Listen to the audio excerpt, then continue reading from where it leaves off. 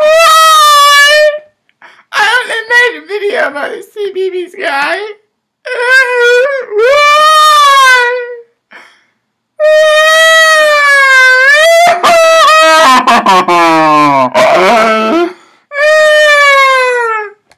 Stop calling me a buttering kid.